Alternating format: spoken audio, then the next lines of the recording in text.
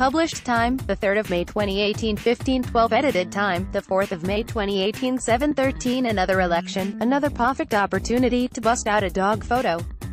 Twitter is exploding with pooches hitting the polls, from Barking to the Isle of Dogs, Canary Woof to Wolverhampton, the canine constituency is out in force asterisk.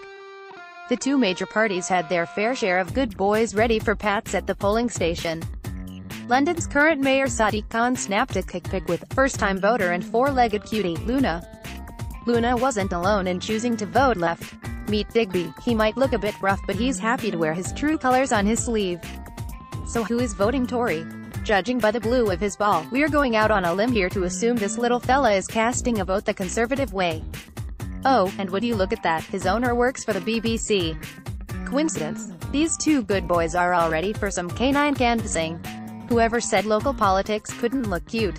Reserved yet a little bit wild, one has to wonder if these two may have rather conservative values, a la UKIP, if they really were allowed to make important, informed political decisions. Of course, this is pure speculation on behalf of Hermione and Guinness World Record holder Hagrid, the larger hound, who stand proud at their local election booth. This pooch doesn't want anything to do with its surrounding land masses, whether that be the EU or the physical ground just like UKIP.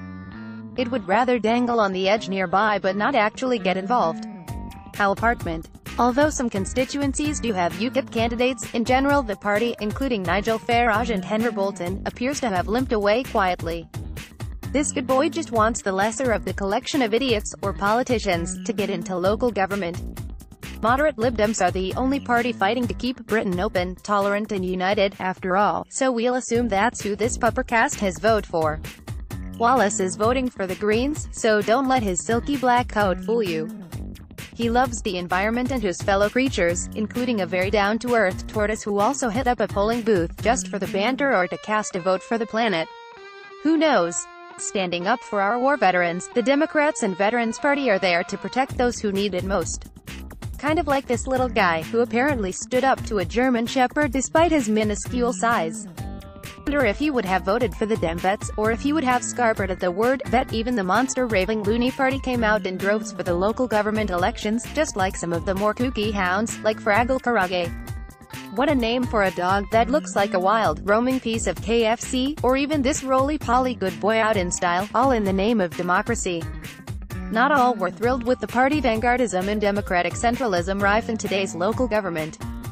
Potentially, communist canines were quite literally pissing on democracy at the polls today, so take that local government, asterisk dogs do not have the physical, emotional, or mental capacity to form demonstrate either the intent or desire to vote for a political party.